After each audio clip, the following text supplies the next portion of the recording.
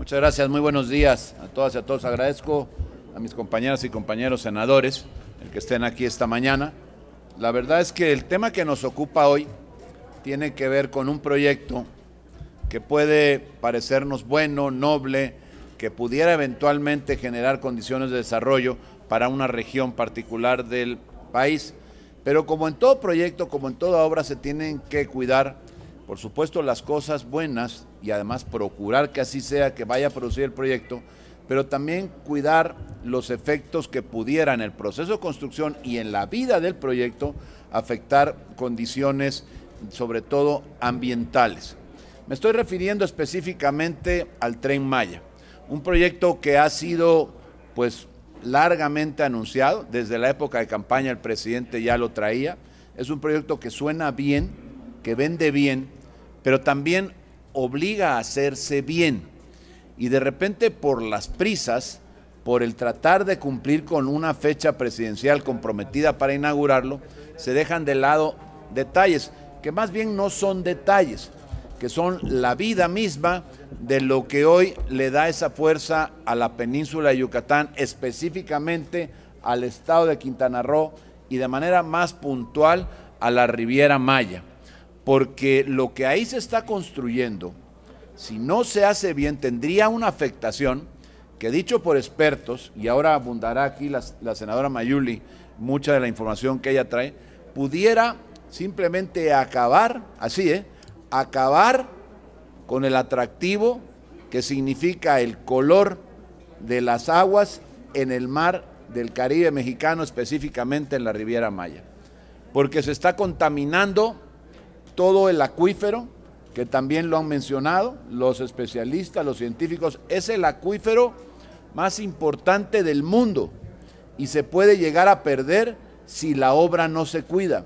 Ojo, no se está hablando de que la obra no se haga, se está hablando de que la obra se haga bien, que no lastimemos al medio ambiente y perdamos lo más, que significa lo que hoy ya tiene Cancún y la Riviera, solamente por hacer un tren que aunque puede ser necesario y puede ser atractivo, hay que hacerlo de manera adecuada. No está peleada una cosa con otra. Tiene que entender este gobierno que para hacer las cosas hay que servir ciertas normas. Y en materia ambiental hay una cosa que de manera personal yo he referido, que la naturaleza no va a perdonar, no va a simplemente dejar que las cosas sucedan y que por ahí se vayan componiendo. Lo que se pierde, perdido está. Y ahí hay que tener mucho cuidado con no estropear precisamente la joya de la corona. Estamos hablando de la fuente de ingresos en materia turística, por mucho más importante de nuestro país. Pero Mayuli tiene mucha más información de carácter técnico que realmente importa para poderle dar viabilidad a esa obra si es que se quiere hacer.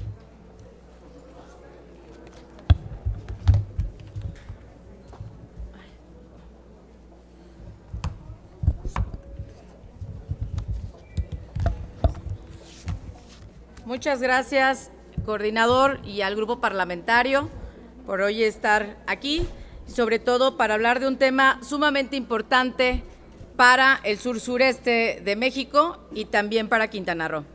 El tramo del tren Maya, del tramo 5 de la ruta del tren Maya, como ustedes pueden ver, son siete rutas que existen y la, el tramo 5 es eh, Cancún, Playa del Carmen, o conocido también como la Riviera Maya, y Tulum en la cual aquí se atraviesa uno de los sistemas de ríos subterráneos más largos del mundo, el más importante del mundo, en donde hay cavernas inundadas, flora, fauna, selva y la fuente de agua dulce más importante de la región. No podemos dejar por, por a un lado ese dato. Estos sistemas que ustedes podrán ver a continuación se han formado durante dos mil millones de años. Ahí se encuentran, inclusive se han encontrado vestigios de la antigüedad que apenas están empezando a explorar. Hay fósiles, restos de nuestros antepasados que datan de tiempos de la era glacial. Estamos hablando dos mil millones de años. No es un tema menor. Ahí vamos a poder ver que evidentemente ante la no tener estudios de factibilidad sobre la construcción del tren Maya, pueden haber daños irreversibles. Esto es lo que hay en las cavernas subterráneas que tienen cenotes. Eso es lo que podemos encontrar en Quintana Roo y en, esa, en ese tramo en donde el patrimonio cultural, arqueológico, la fauna, la selva libre, las fuentes de agua potable, los cenotes, se pueden acabar. Es un extraordinario acuífero y es un extraordinario ecosistema único en el mundo del que estamos hablando. Es uno de los pulmones más grandes del planeta, de la selva maya de la península. Y ahí también les quiero mostrar el sistema kárstico. Aquí pueden ver un poco de cómo está el sistema kárstico y el acuífero de la zona. Todo este sistema hace que las playas de Quintana Roo tengan ese hermoso azul turquesa que vemos como playas, porque todo ese sistema está conectado por debajo. Imaginemos nada más que por debajo de todos esos kilómetros y kilómetros de camino, abajo hay cavernas. Y estas son las que hay, cavernas inundadas y cavernas que no, que no son inundadas también, pero que podemos ver que todo este sistema filtra el agua y eso hace que se pueda conocer el azul turquesa que tenemos. Estamos hablando eh, pues de la selva maya, manglares, cenotes, animales de la región, zonas arqueológicas eh, también. Jaguares, muchísimos animales que son solamente de esa, de esta región. Queremos aquí también hacer un señalamiento porque hace unas semanas la Auditoría Superior de la Federación dijo que no hay un plan maestro del proyecto, que no hay estudios de factibilidad, no hay estudios de impacto ambiental, no hay permisos autorizados para la construcción de este tren. Y tenemos que escuchar a los expertos.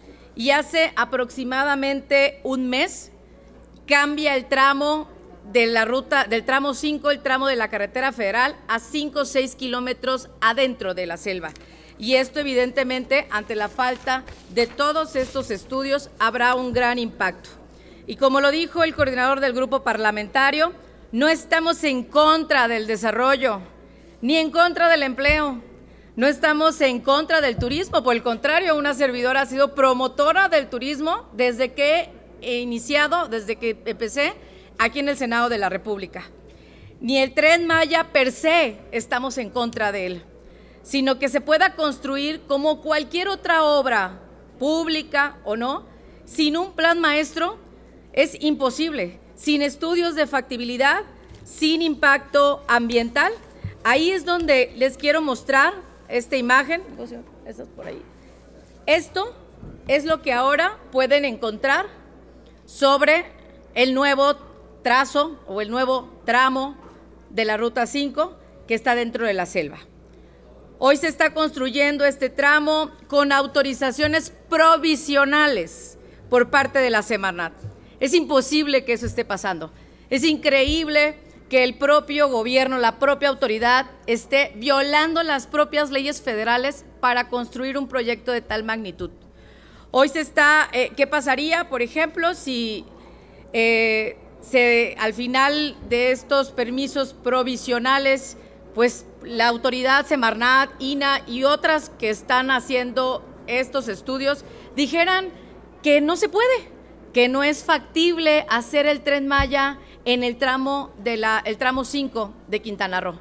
Mientras ya hubo una devastación que nos dicen los expertos que para que vuelva a regresar al estado original de hace unos días que estaba, tardaría cuando menos 20 años para volver a lograr tener esta selva en este, en este tramo. Y también les quiero decir, estamos en una zona altamente cavernosa en Quintana Roo, por eso frecuentemente vemos socavones en la carretera. Esto es algo, vamos a decirlo, peculiar en Quintana Roo, en la carretera federal que conecta desde el norte al sur del estado, por la, precisamente por lo cavernoso que es y esto es en la carretera federal. No sé si es un tren de carga, de pasajeros, de turismo, el peso que tendría que aguantar la tierra y sobre todo el tipo de piedras cársticas que evidentemente pues, no soy experta, no soy científica, pero creo que pasaría esto que ustedes están viendo en esta fotografía. Pudiera hasta caerse, inundarse y evidentemente pues esto es lo que queremos que no, que, que no suceda. No queremos frenar, insisto, este, el tren Maya.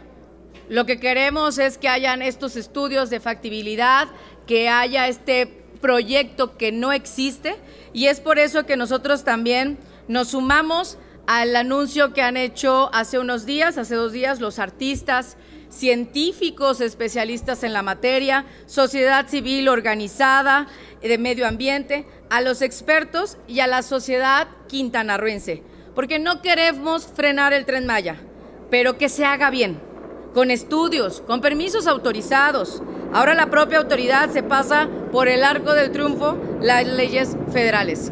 Y con esto al menos concluyo en esta parte mi participación de decirles lo que está en riesgo. El acuífero más importante del mundo y el sistema kárstico más importante, pero sobre todo el efecto y las consecuencias que tendríamos para los que vivimos en Quintana Roo. Perderíamos el azul turquesa de nuestras playas, perderíamos empleos, perderíamos nuestro hogar, porque a eso nos dedicamos en el Estado como la principal actividad económica, que es el turismo. Esto a un corto plazo, dicen los científicos, que esto pudiera acabarse. Y entonces, quienes vivimos en Quintana Roo, pues vamos a ver un estado del que hoy no vamos a, no vamos a ver, no puede en una generación acabarse todas las bellezas naturales. Son nuestros recursos naturales de los quintanarroenses y de México. Es nuestro patrimonio natural. Y evidentemente a favor de todo el desarrollo, pero que sea desarrollo sostenible. No podemos acabar con un lugar en el cual vivimos y aparte recibimos a muchos visitantes nacionales e internacionales a que conozcan las bellezas naturales y arqueológicas de Quintana Roo. Pero eso sí, cuidemos nuestro medio ambiente, cuidemos nuestro entorno, cuidemos las generaciones futuras, cuidemos nuestros empleos, hagámoslo bien por nosotros, por nuestras, nuestras familias, por las y los quintanarroenses y por supuesto también por las y los mexicanos. Muchas gracias. Muy bien. Muchas gracias. Este, muchas gracias, eh, Mayuli. Eh, justamente yo tenía pensado acompañar a Mayuli hace una semana, aquí lo anuncié, pero dado que hubo una sesión extraordinaria, ya no pude y estaré en los próximos días en la península de Yucatán. Basta que una generación de políticos ignorantes atente contra el futuro de las próximas generaciones. Yo sé que el nieto del presidente vive en Houston y ahí no le importa lo que pase en Quintana Roo, pero yo sí espero que mis nietos algún día puedan conocer esos cenotes y esas bellezas naturales de Quintana Roo. Por eso es imposible no oponerse a que se sigan haciendo las cosas de manera indebida.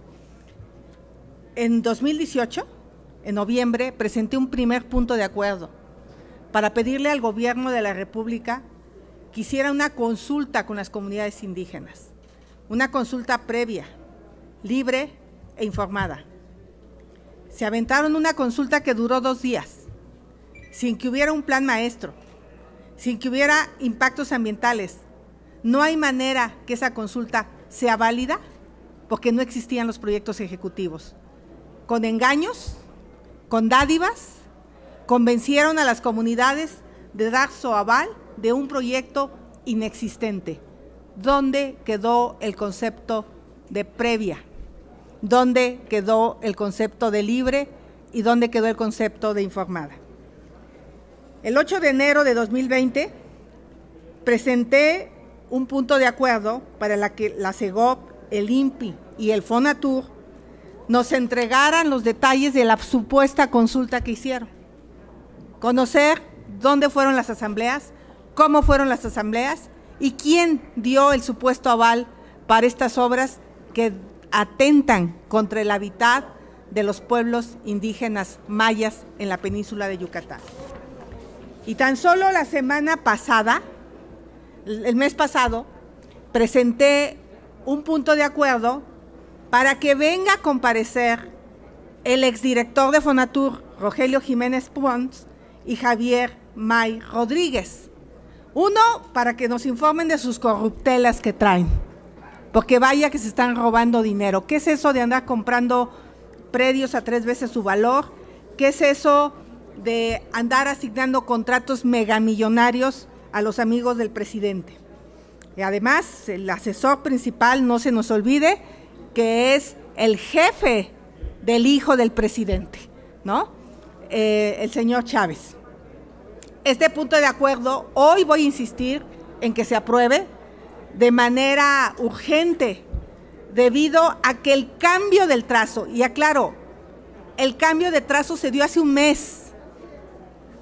Basta de seguir haciendo las cosas a lo pendejo. Basta de seguir violando la ley. Eso es lo que quiero decir.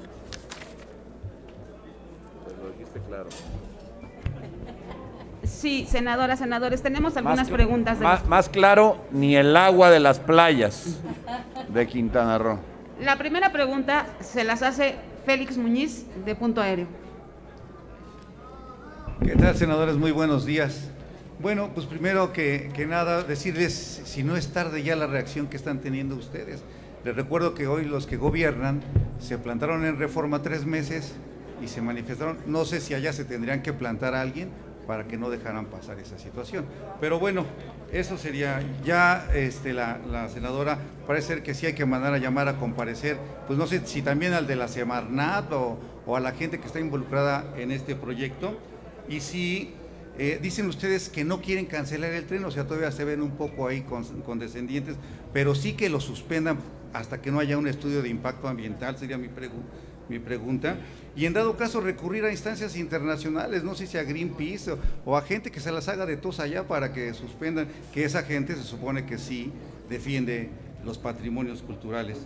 Y este, anunciaron por ahí, creo que la senadora Mayuli va a ir una comisión de turismo a visitar el tren Maya. No sé si esa comisión puede hacer algo para que este, enfrenten este tema. Y ya, no sé si ahorita en otro tema me dan chance o, después. Yo, yo quisiera, eh, ahora nos comenta la senadora Mayuli respecto a esta última parte de la pregunta, Félix. Efectivamente ya fueron y ahora da cuenta. Ahora, tarde no, no es tarde. Me parece a mí que cuando se anuncia este proyecto del tren, pues lo menos que se esperaba es que se pudiera llevar acorde con las normas ambientales. Que, pues, pero lo que estamos viendo es que a este gobierno justamente no le importa lo que diga la norma, ni en la materia ambiental, ni en ninguna otra, tristemente. Lo estamos viendo con lo que está pasando.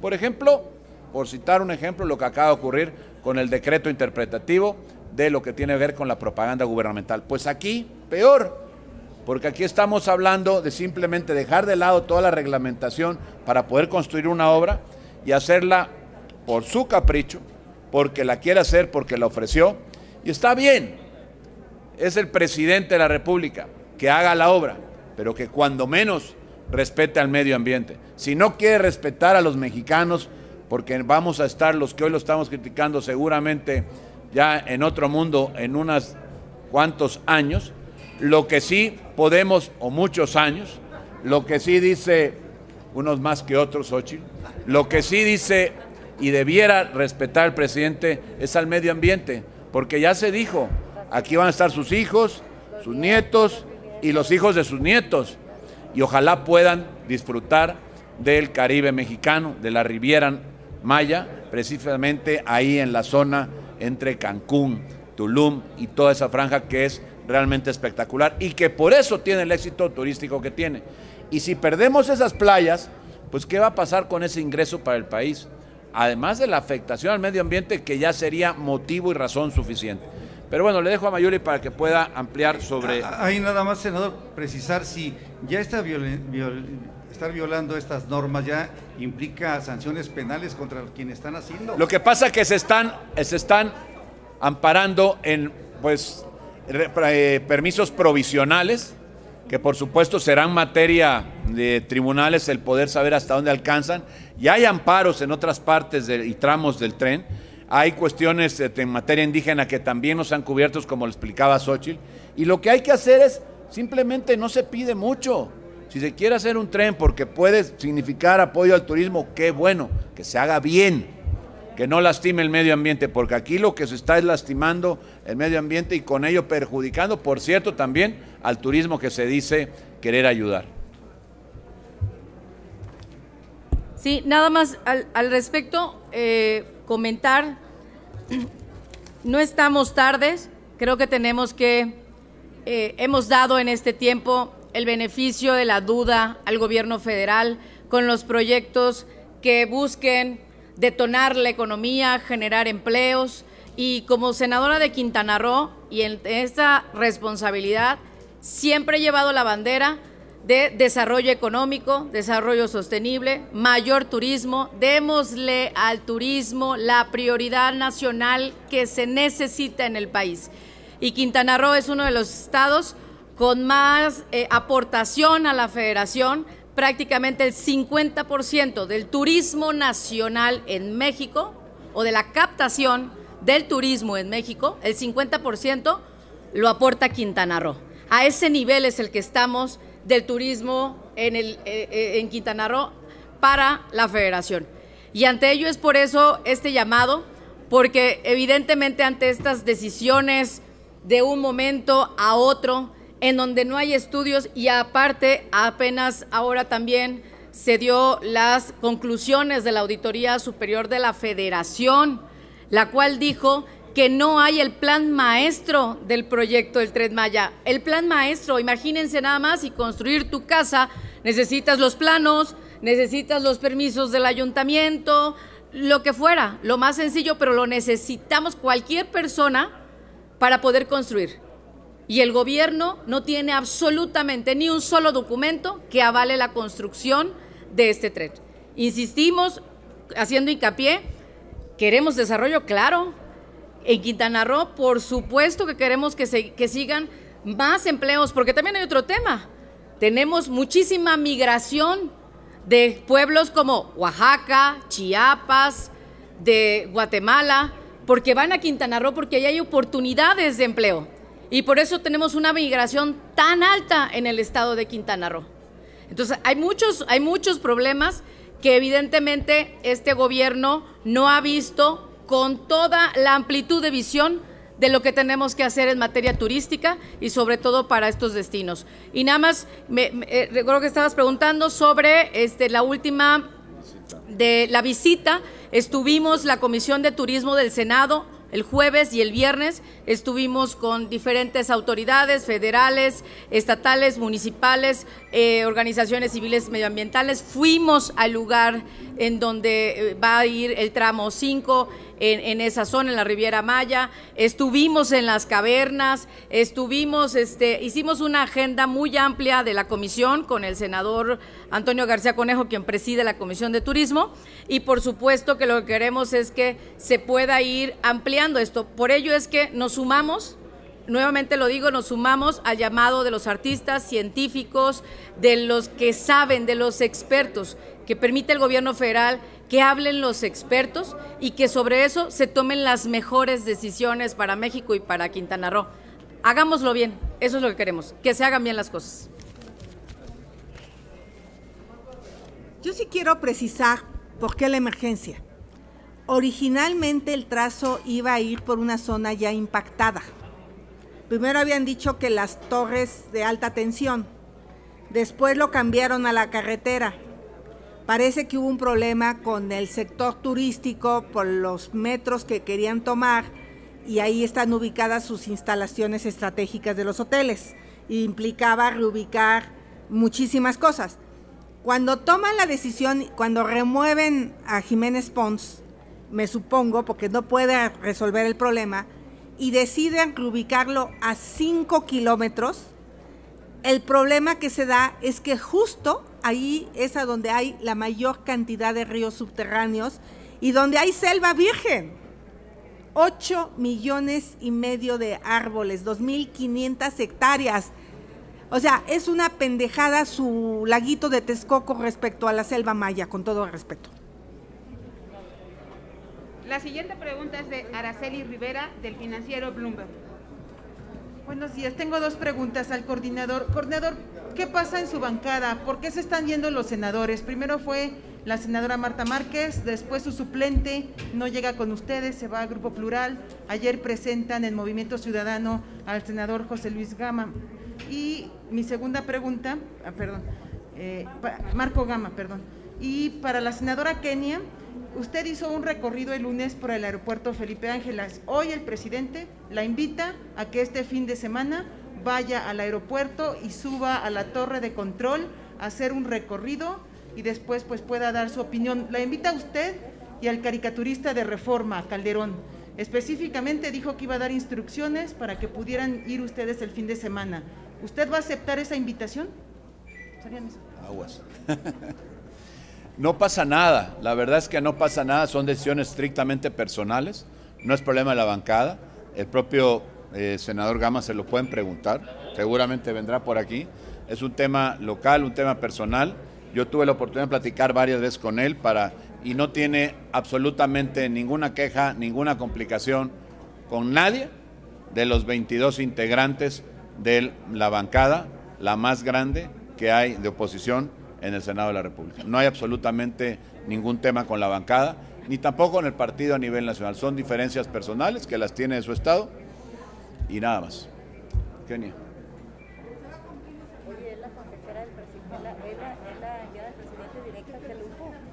Muchas gracias. Gracias por la pregunta. Hoy venimos a hablar de esta devastación que está haciendo el gobierno.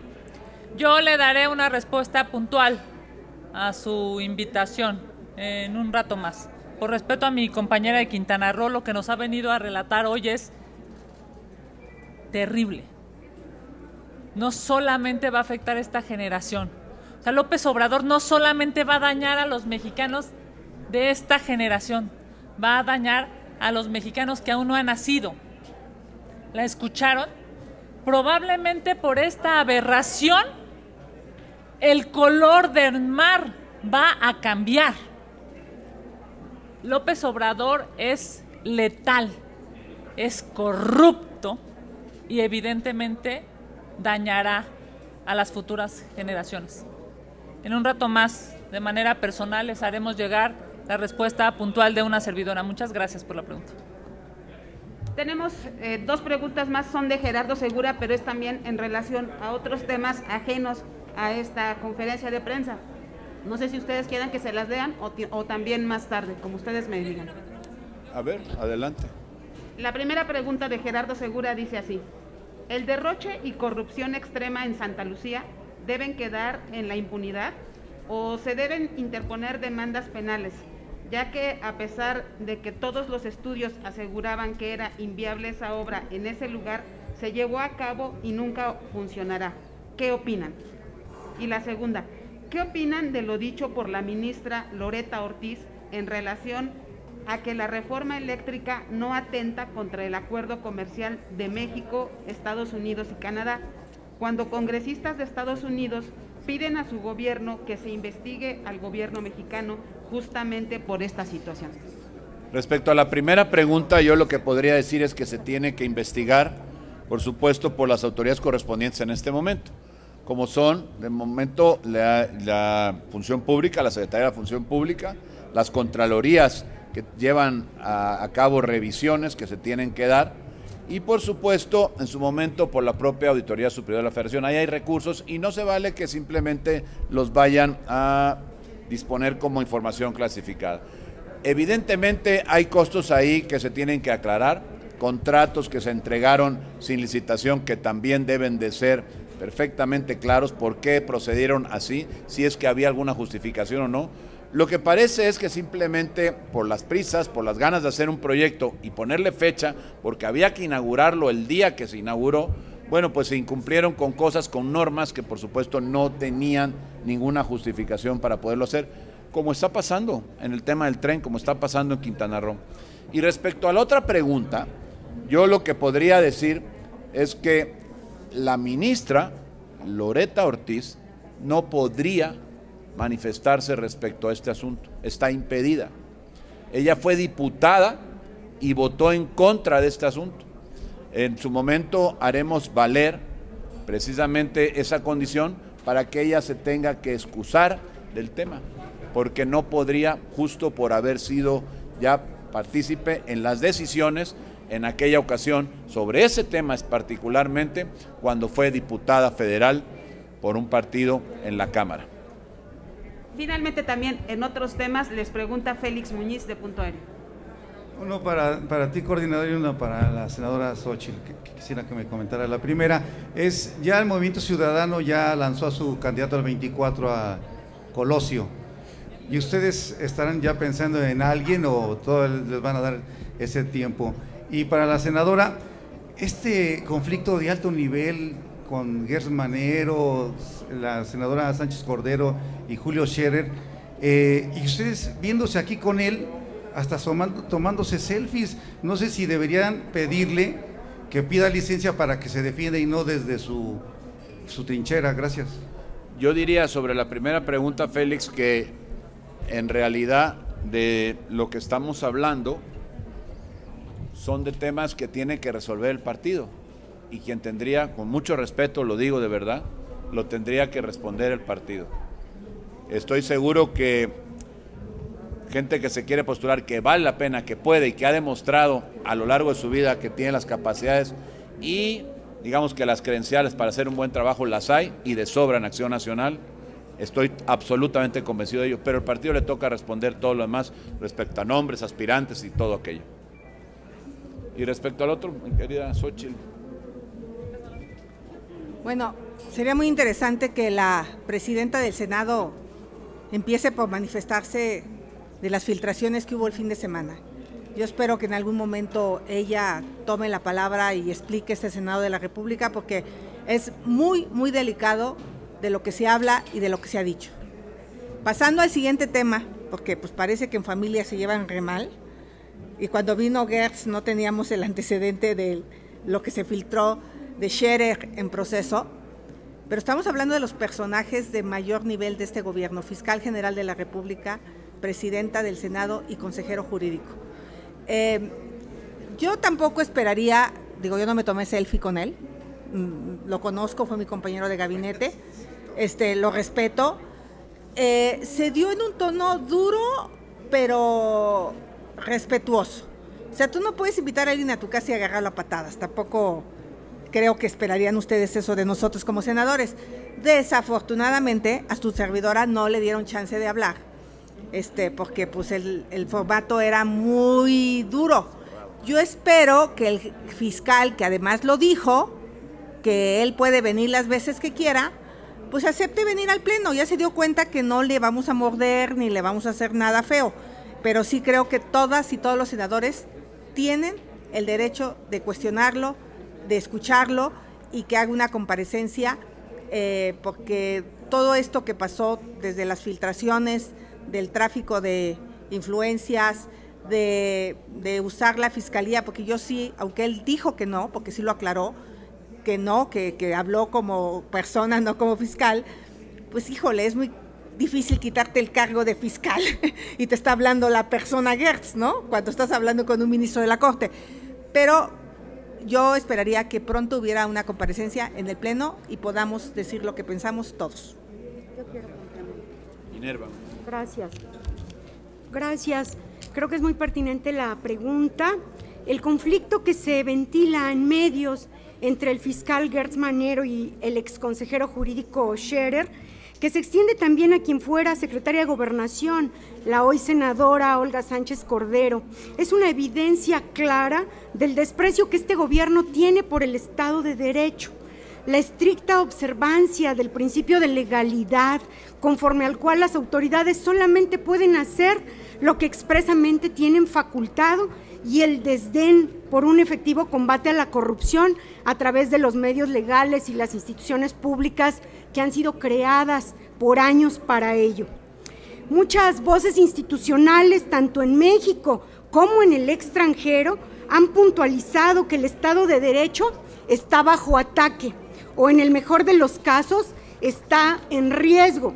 Esa falta de cumplimiento de la ley se observa en las razones que desmotivan la inversión en los informes más recientes del Banco de México, en que en la evaluación de Economist se manifieste un retroceso en la gobernanza democrática de nuestro país o en el que el World Justice Project registre evaluaciones a la baja para México.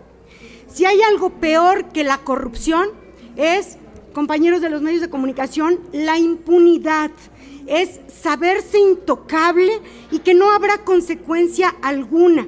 Por ello, el escándalo entre Gertz, Scherer y Sánchez Cordero no puede quedar reducido a chismes o a intrigas palaciegas, o peor aún, a cosas de la condición humana, como lo dice el presidente en días pasados. Se requiere, por supuesto, conocer la verdad y esclarecer los hechos, que se lleve a cabo una investigación a fondo y que sí o sí se finquen responsabilidades penales, administrativas o políticas a quienes el caso lo amerite.